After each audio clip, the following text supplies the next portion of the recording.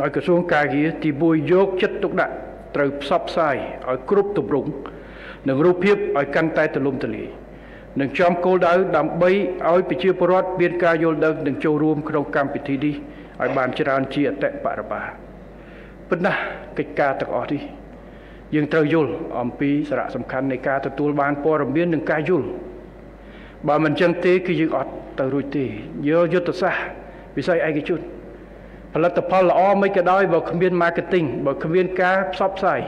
ទលំទលាយដល់ទេគឺมันអាចគេថាតាក់ទាញបានទេมันអាចឲ្យប្រជាពលរដ្ឋជួនកាលគាត់អាចមានសង្ស័យថាឲ្យខ្ញុំចូលរៀនឬបខំឲ្យខ្ញុំចូលរៀនរៀនហើយហ្មង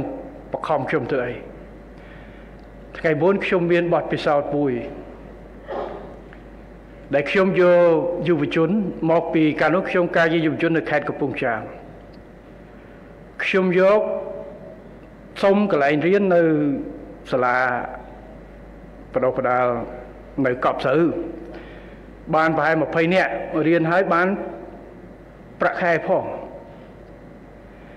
ថ្ងៃទី1ដែលខ្ញុំយកគាត់មកព្រោះគាត់មកយប់អញ្ចឹងគាត់ទៅស្នាក់នៅនៅក្នុង បទាយទាហានរបស់ខ្ញុំ ស្អែកឡើងស្រាប់តែយប់ឡើងឡើងផ្អើល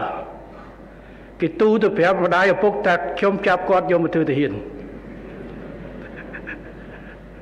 បានបញ្យល់វិញអត់ទេគ្រាន់តែសុំចតព្រោះសាលាអត់ទាន់នេះគ្រាន់តែជាឧទាហរណ៍មួយ ហើយផ្អើលពេញស្រុកថាកុំទៅទៀតនេះហើយគឺសារៈសំខាន់នៃការផ្សព្វផ្សាយព័ត៌មានឲ្យយល់ឲ្យងាយយល់ហើយដឹងពីអត្ថប្រយោជន៍ហើយគោលនយោបាយយើងទាំងអស់គឺអត់ប្រខិតប្រខំទេទាំង កម្មវិធីសម្រាប់ជួយសេដ្ឋកិច្ចបងប្អូននៅក្នុងសេដ្ឋកិច្ចក្រៅប្រព័ន្ធទាំងកម្មវិធីព្រឹកនេះដែលប្រកាសនៅក្នុងថា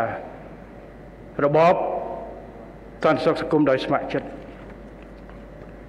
គឺអត់ពៀនការប្រខិតប្រខំទេប៉ុន្តែអ្វីដើម្បីឲ្យការស្ម័គ្រចិត្តនិងការចូលរួមបានច្រើន ទី1ទៅការផ្សព្វផ្សាយឲ្យដឹងច្បាស់ឲ្យបានល្អទី2ពេលបានហើយត្រូវអនុវត្តឲ្យបានគុតបុត្រឲ្យចំគោលដៅបាទ ទី1ហៅគាត់មក